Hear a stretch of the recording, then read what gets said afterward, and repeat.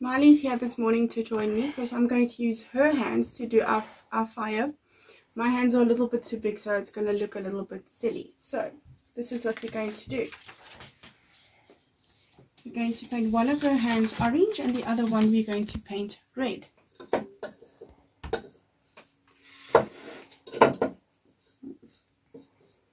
Okay, we said orange, right?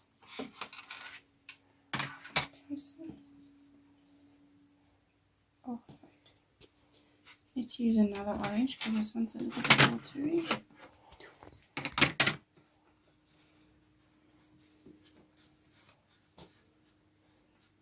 You can have mommy and daddy also put their handprints on the flame for you. Also use their hands as a as a flame.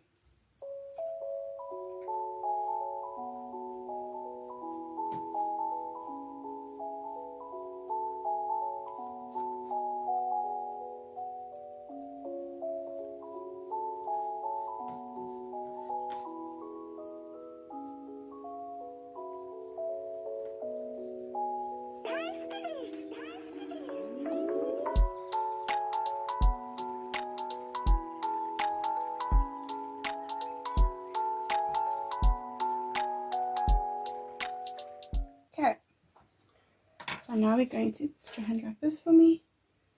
Okay, a little bit open. Going to put our handprint down. Press it down firmly. And voila!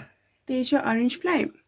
So we're going to clean our brush so we can use yellow. Okay. Let's use your right hand, Molly.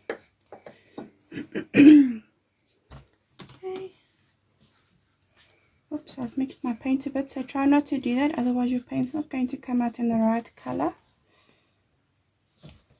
Just clean my paintbrush a bit. No, leave a ring, it's fine. Okay,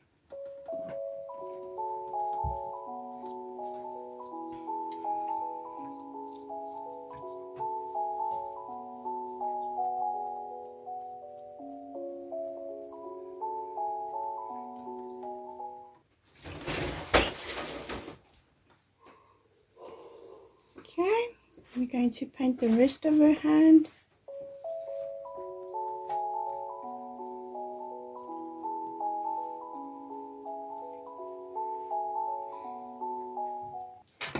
Okay,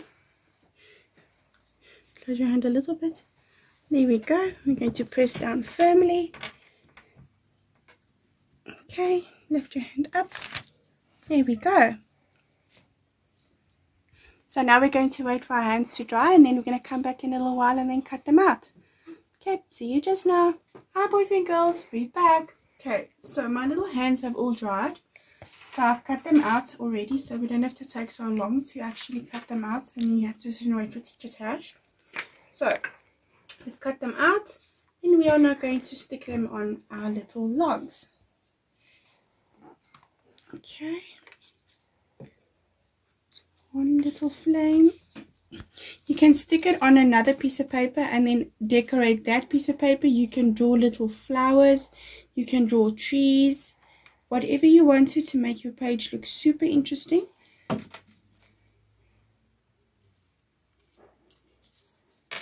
And there we go. That looks so cute. Right. And there's our little logwood flame so go have lots of fun with mommy and daddy, boys and girls, and then I'll see you next week. Bye!